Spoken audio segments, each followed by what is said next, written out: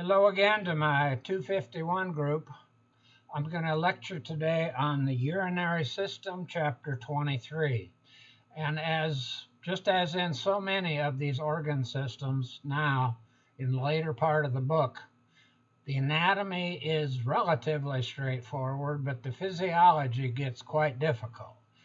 And I am not able to uh, lecture all of the details of the physiology. You're going to have to do a lot of that on your own. So please start by uh, printing off the study guide that's on page 921.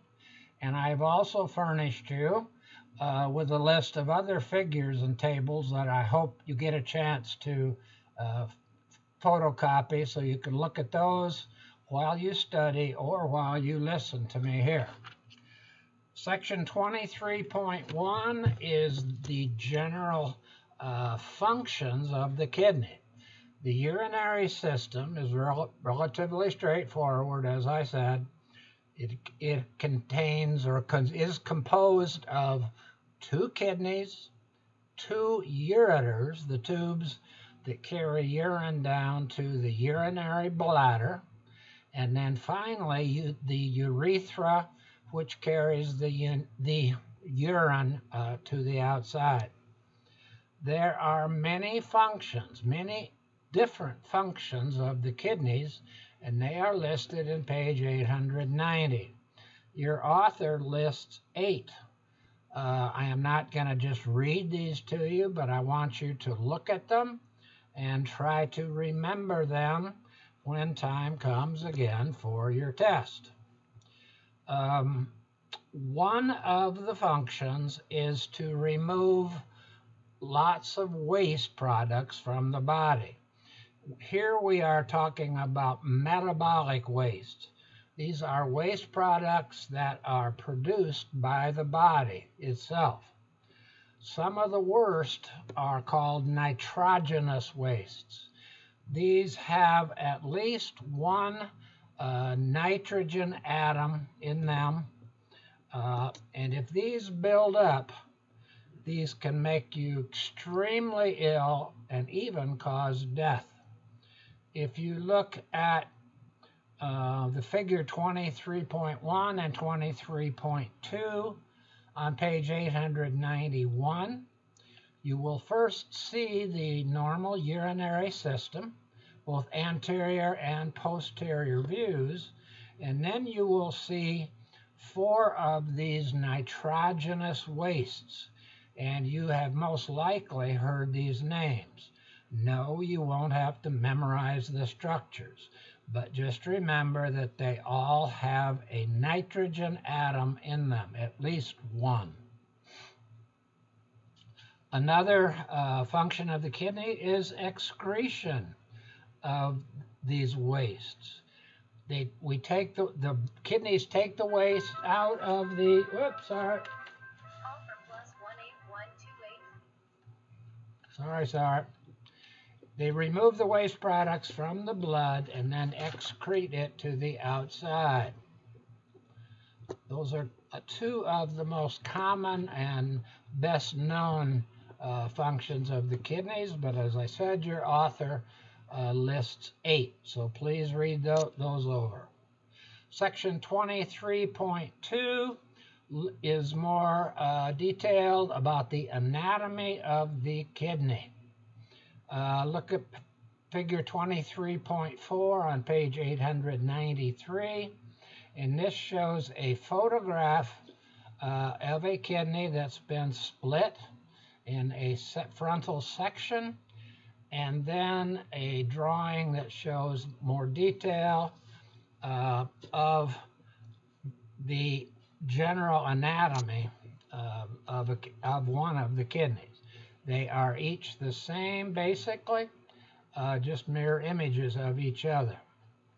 I want you to have memorized from on page 23 or on figure 23.5 memorize the renal circulation, starting with the aorta to the renal arteries and then on down smaller and smaller and smaller arteries and then arterioles ending up in the glomerulus that we'll talk about and show you just in a moment here.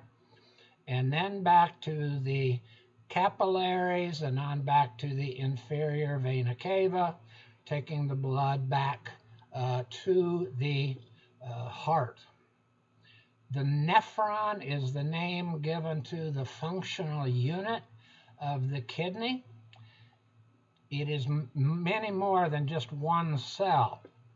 So remember, it is a functional unit. Um, and we'll show you one nephron again in another page or two.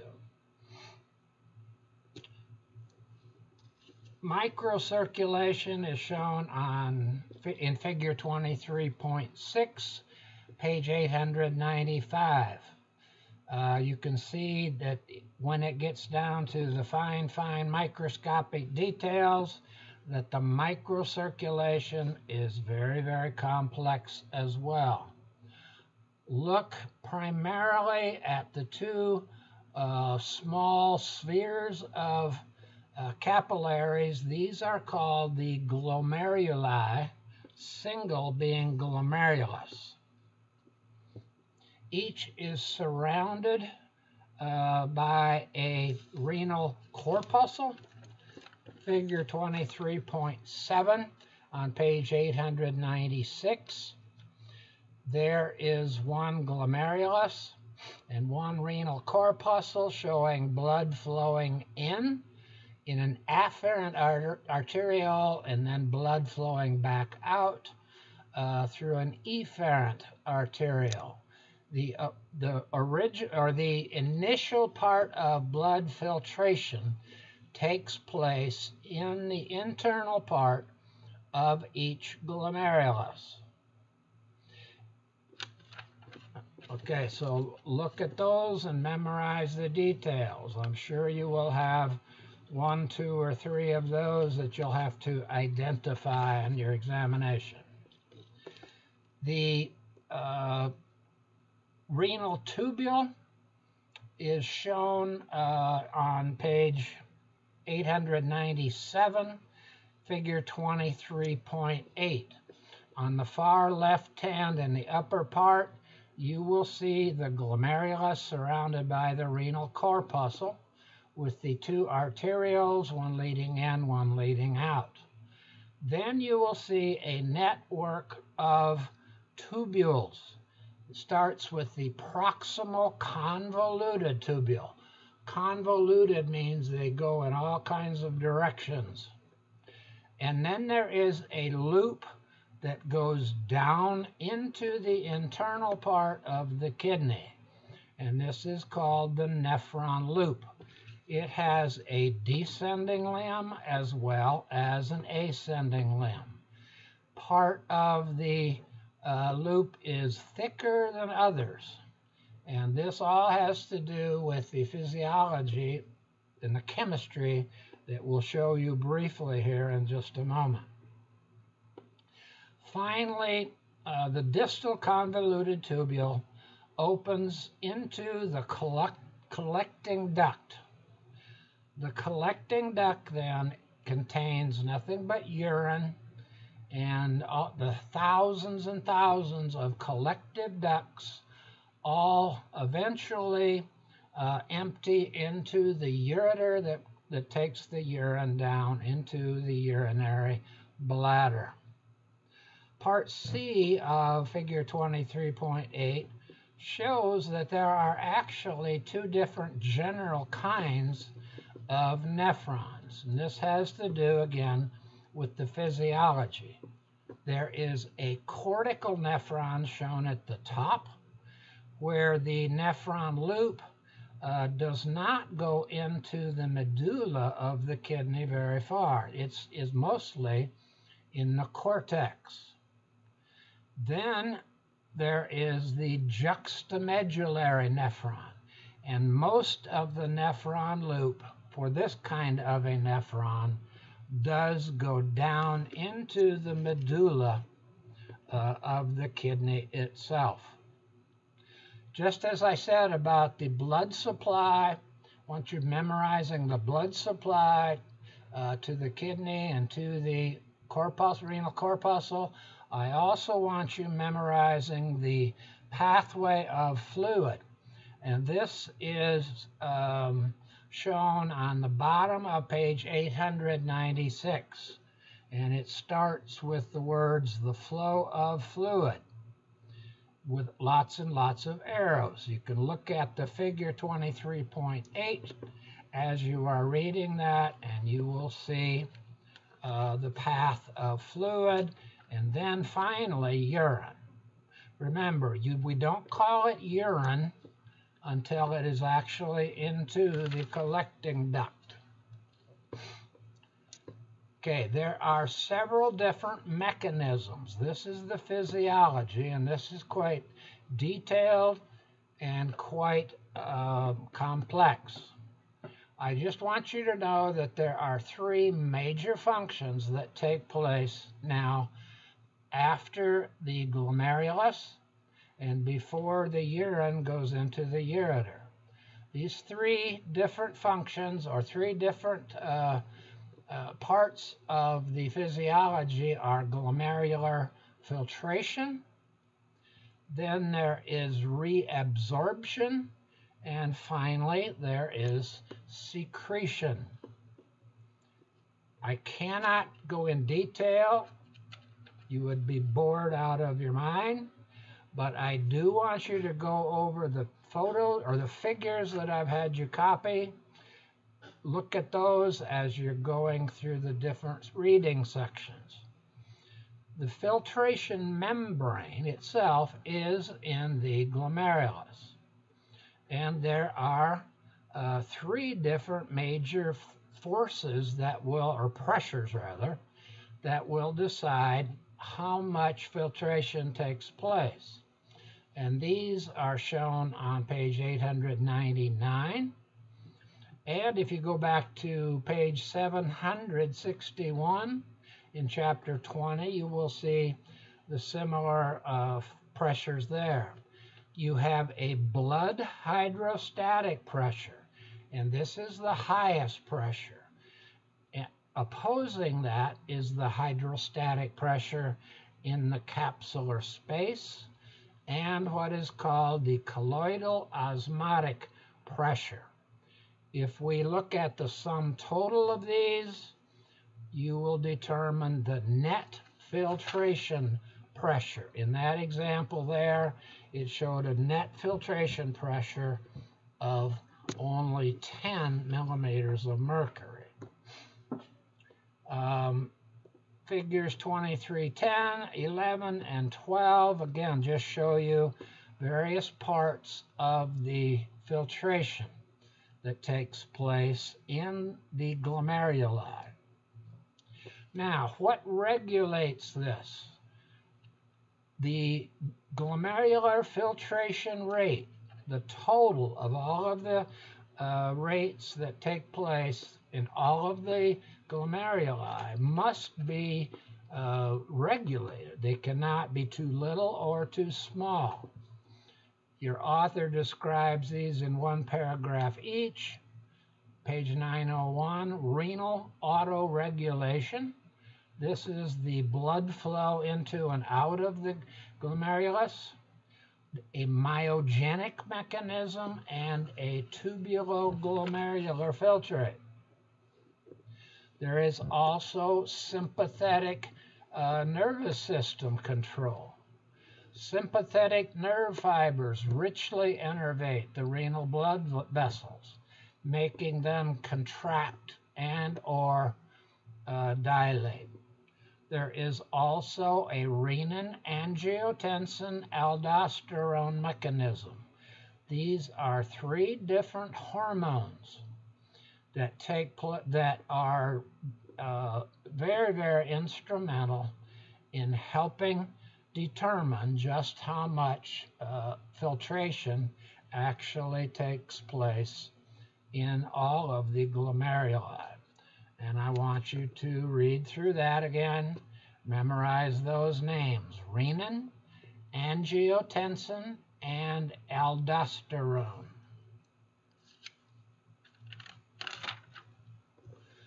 Next, section 23.4 is tubular reabsorption and secretion. Your author covers these in one section.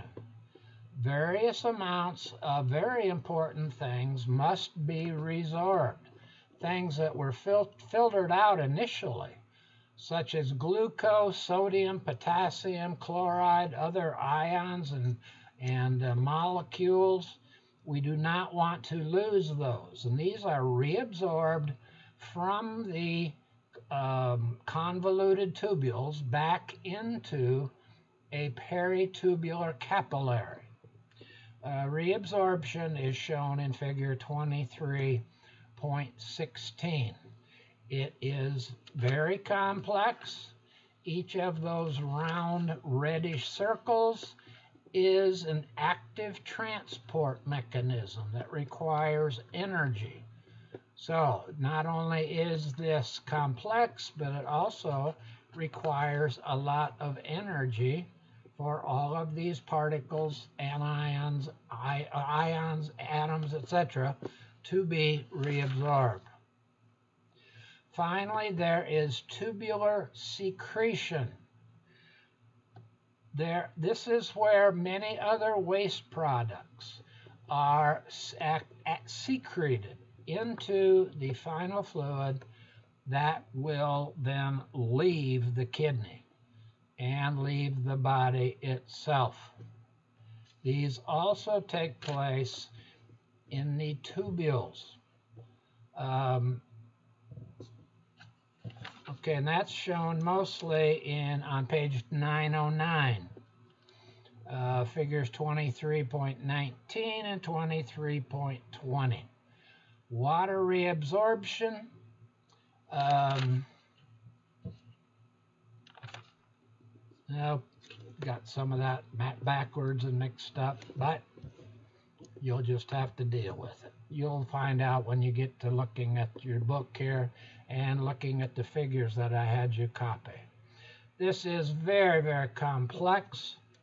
Um, I learned it once in medical school, but then I did not retain it because I decided that I was not going to be a nephrologist.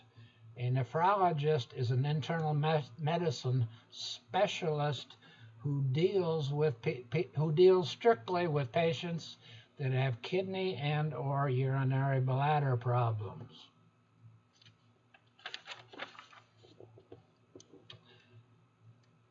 If you are very, very um, good with memorization with a photographic memory and you are planning to go to medical school, you might just try to memorize figure 23.21. This shows on page 910. This shows you the functional relationship of the nephron loop, the vasa recta, and the collecting duct. The numbers are the uh, the osmolarity of this extracellular fluid, measured from 100 down through uh, 1200 milliosmoles per liter. And I am just kidding. You do not need to even try think about memorizing that. Okay, there's the picture I was referring to. It got put in there in a strange place. Figure 23.22 on page 911 shows you where certain solutes and which solutes are reabsorbed. These go back into the bloodstream. And then finally, in a pinkish color, I don't know what color that is exactly, I didn't have that color in my crayon box. It's sort of pink. These show you what ions and different molecules are then actively secreted uh, into the tubules and into the collecting duct. There are many different uh, severe problems that can occur in the kidneys and or ureter and bladder. Probably the most important or the most common that you've heard of are uh, kidney stones, ureteral stones that cause a tremendous amount of pain. Um, hopefully, none of you have had one, but the odds are uh, that you will at some point in your life. Section 23.6 just shows some of the tests. Some are very simple, some are quite complex that specialists can use to determine uh, the state of function of the uh, kidneys themselves. I do not need for you to memorize these, but I want you to, again, to at least have some familiarity. Famil yeah, I want you familiar with some of these tests. One of the most common is just a simple urinalysis, and that can be done very, very simply. One step hard, more difficult is if you take that urine that was, that was collected and then look at it under a microscope. You can also measure urine volume. Um, then there are several renal function tests that are listed in page 913. Uh, these not these are not to determine just are you making urine yes or no but are your kidneys doing what they are supposed to be doing? Finally, in section 23.7, we discussed urinary storage and elimination. But all I'm going to say is that in normal functioning urinary system, we have two ureters that lead down to the urinary bladder and then one urethra that exits the urinary bladder uh, to the outside. The, this is discussed in section 23.7. The anatomy is shown in figure 23.23 for both females and males. Uh, neurologically, this is a little bit complex as well as um, anatomic. Well, anatomically, it's a little bit more simple, but physiologically and neurologically, it gets a little more complex because there is involuntary, there are several involuntary reflexes as well as necessary voluntary control that allow us to store and then eliminate the urine uh, when we choose to and when is the most appropriate. That is all I'm going to say about section 23. Thank you to those few of you who have stayed through my discussion. Bye.